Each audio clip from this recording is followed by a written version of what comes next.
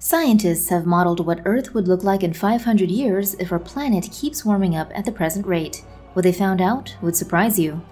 A group of environmental scientists have combined to model the impact of climate change all the way up to the year 2500. After publishing their findings in Global Change Biology, the researchers wrote in The Conversation that Earth will gradually become uninhabitable if governments across the globe do not act more strongly to reduce greenhouse gas emissions. The study's results show that the Amazon will change into a place that is too hot and dry for plants to grow in, leaving a barren wasteland with no vegetation and little human activity. In the American Midwest, the model predicts that today's cornfield prairies will be replaced by a hot and humid subtropical climate where AI drones tend to strange plants engineered from oil palms. In the Indian subcontinent, the study predicts that humans would have to wear air conditioned suits and used farming drones to grow food in the intense heat and humidity. The scientists say the modeling reveals a future where agriculture and humans have moved toward the poles to escape the intense heat and humidity of the equatorial regions. The researchers say long term future models like theirs are not factored into mainstream climate planning. They say these should be, as humans who are born today will be in their 70s by 2099, and we should start to ask what the world would look like for their children and grandchildren. The recent heat wave in the states of Oregon and Washington caused a lot of damage to roadways. In one post on Twitter, a user based in Portland shared photos of a nearby road and said their house began to shake as the road's concrete started to split. The user wrote, The house started to shake and we thought it was an earthquake. But no, the road was so hot it literally buckled. Here's how it happened. Newsweek reports that roads are buckling and breaking apart from the unprecedented hot weather that's been hitting the Pacific Northwest region of the U.S. In the usually cool Portland, temperatures soared to 47 degrees Celsius on Monday, June 28th. Scientists say the problem is that Oregon's roadways were not designed to survive such heat. These roadways are made of concrete slabs that contract in cold weather and expand in hot weather. The slabs were shaped with gaps between them, and these gaps are there to create room for the concrete when it expands. However, these gaps are only big enough to make room for the kind of expansion that happens during normal temperature highs, and the recent heat wave created temperatures so high that the concrete slabs expanded so much that they pushed against each other, causing the slabs to break and buckle. Roads that were made of asphalt, on the other hand, often became so hot that they became soft like toffee, and thus became deformed by large numbers of heavy vehicles driving over them. Meanwhile, workers ventured out last week in the blistering heat to put cracked concrete and asphalt roadways back together.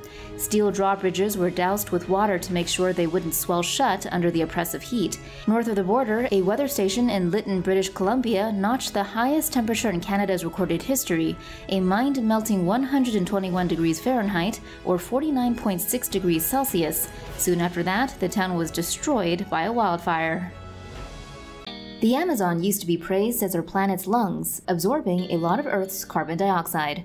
However, things are going very wrong in the Amazon, and it's now emitting a lot more carbon dioxide than it can absorb. Here are the details. The Guardian reports that scientists have recently confirmed that the Amazon rainforest is now emitting more carbon dioxide than it is able to absorb, and its emissions amount to a billion tons of carbon dioxide a year. The giant forest had previously been a carbon sink, absorbing the airborne carbon that is driving the climate crisis. Sadly, the Amazon is now causing the acceleration of the climate crisis, according to researchers. Most of the emissions are caused by fires, many deliberately set to clear land for beef and soy production. But even without the fires, hotter temperatures and droughts mean the southeastern Amazon has become a source of carbon dioxide rather than a sink. The scientists said the discovery that part of the Amazon was emitting carbon even without fires was particularly worrying. They said it was most likely the result of each year's deforestation and fires making adjacent forests more susceptible the next year. The trees produce much of the region's rain, so fewer trees means more severe droughts and heat waves, which cause more tree deaths and fires. The study's lead researcher said the first very bad news is that forest burning produces around three times more carbon dioxide than the forest absorbs. The second bad news is that the places where deforestation is 30% or more show carbon emissions 10 times higher than where deforestation is lower than 20%. What's your favorite part of summer? Hanging out at the beach with all your friends? Playing frisbee with all your friends? How about the killer heat waves that have come to destroy us all? If you went for option number two, the US right now has almost certainly been the place to be for the past few days. Here's what you need to know. A severe heat wave affecting 40 million Americans has seen temperatures over 100 degrees Fahrenheit beat records in Wyoming, Utah, Arizona, and Southern California, according to NBC News. It has two main causes, according to the Associated Press. First, a heat dome, or area of high pressure. Sinking air from the Earth's atmosphere prevents air near the ground from rising. That sinking air operates like a cap, trapping warm ground air in place, according to the U.S. National Oceanic and Atmospheric Administration. Without rising air, there is also no rain, and nothing to stop hot air from becoming hotter. That high pressure works in combination with a two decade dry spell that has sucked moisture out of soil in much of the western United States. Usually, some of the sun's heat evaporates moisture in the soil, but according to the Associated Press, scientists say the western soil is now so dry that the energy is instead used to make the air even warmer. As a consequence of the extreme heat, at least 14 new wildfires broke out this week in Montana and Wyoming alone. Firefighters also fought fires in Arizona and New Mexico, with U.S. Department of Agriculture meteorologist Gina Palma saying these were certainly conditions that we would not normally see in June. Power networks across the country have also been strained due to increased use of air conditioning, according to Reuters. Operators in California asked homeowners across the state to conserve energy in the late afternoon and evening when demand surges. In graphs published on its website, the U.S. Environmental Protection Agency showed that heat waves like this are almost three times as frequent as they were in the 1960s, increasing steadily for over 60 years. Furthermore, the duration of these heat waves is now almost a full day longer. What we're watching here is climate change, and at least part of it is man made, according to the Associated Press. A study published last year in the journal Science found that man made climate change tied to greenhouse gas emissions is responsible for around half of the historic drought that caused the drying out of the soil. Added to this, NASA's website helpfully explains that human activities, such as burning fuel to power factories, cars, and buses, cause the atmosphere to trap more heat than it used to, which increases the Earth's average temperature. Now, of course, heat waves have always occurred. The American Meteorological Society simply defines a heat wave as a period of abnormally and uncomfortably hot and usually humid weather, which we all know was hardly unheard of before. But the point is this if the Earth's overall average temperature is higher, existing factors like heat domes can more readily push us over into extreme heat, particularly as some defenses against that heat, like the moisture in the soil, are also taken away.